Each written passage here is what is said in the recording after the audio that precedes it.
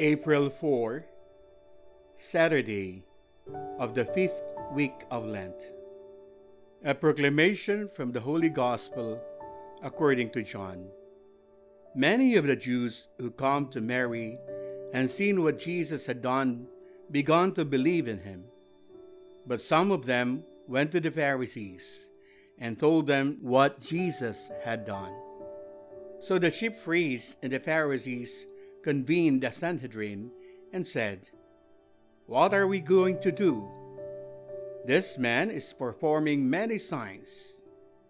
If we leave him alone, all will believe in him, and the Romans will come and take away both our land and our nation.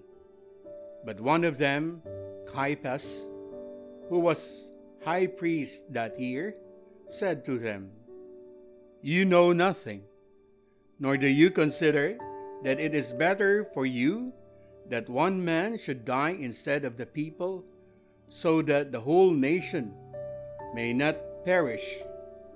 He did not say this in his own, but since he was high priest for that year, he prophesied that Jesus was going to die for the nation, and not only for the nation, but also to gather into one the dispersed children of God.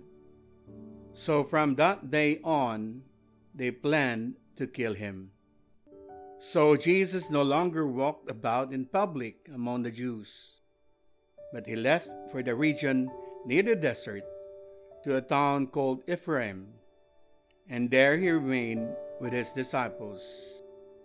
Now, the Passover of the Jews was near, and many went up from the country to Jerusalem before Passover to purify themselves.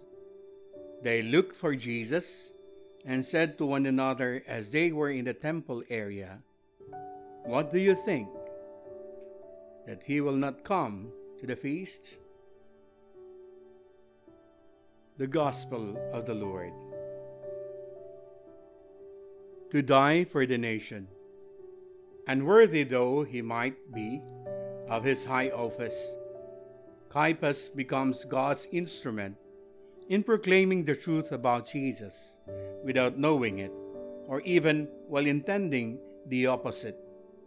Caiaphas prophesies that Jesus is going to die for the nation, and not only for the nation, but also to gather into one the dispersed children of God. God can draw good even from the calculating designs of human beings.